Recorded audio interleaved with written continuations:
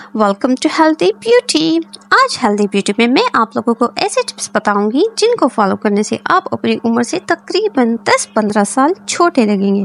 तो आइए जानते हैं कि वो कौन से ऐसे टिप्स हैं जिनको फॉलो करने से आप इतने रिंकल्स फ्री नज़र आएँगे।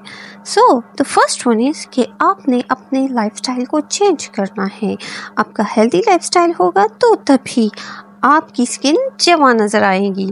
यानी कि आपने सब अपनी आदत चेंज करनी है। और दूसरा ये कि आपने सन ब्लॉक का इस्तेमाल ज़रूर करना है, क्योंकि सन की रेस से हमारी स्किन बहुत ज़्यादा डैमेज होती है। तो आपने ये ज़रूर करना है। The third one is moisturiser जितना भी अपनी स्किन को मॉइस्चराइज़र रख सकते हैं, रखिए, ताकि वो ड्राई ना हो और जमा नज़र आए। एंड नेक्स्ट है स्क्रबिंग एक्सफोलिएशन जिसकी वजह से आपकी स्किन से डेड सेल्स ख़त्म हो जाते हैं और ग्रोथ बढ़ जाती है।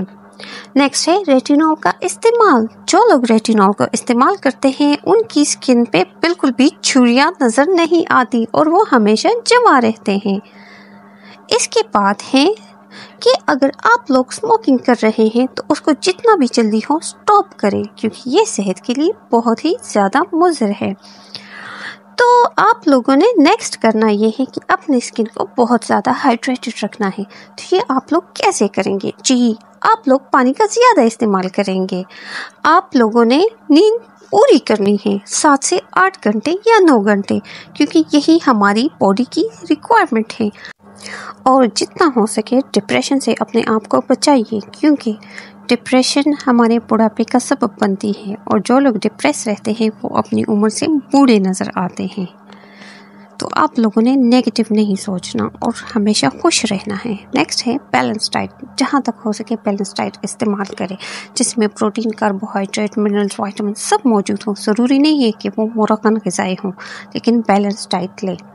ताकि आपकी बॉडी की रिक्वायरमेंट्स बराबर मुकम्मल हों। नेक्स्ट है कि आप लोगों ने स्किन के लिए मेडिकल ट्रीटमेंट लेनी है। जहाँ तक भी हो सके और जो अफोर्डेबल हो तो आप लोगों ने स्किन की मेडिकल ट्रीटमेंट ज़रूर करानी है, ताकि आपकी स्किन हमेशा जमा और खूबसूरत नज़र आए और बिल्कुल चुरियों से साफ़ और शफाफ जल्द हो।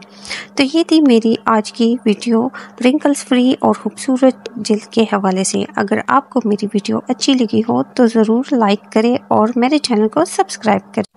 मिलते हैं नेक्स्ट वीडियो में, तब तक के लिए अल्लाह हाफिज़।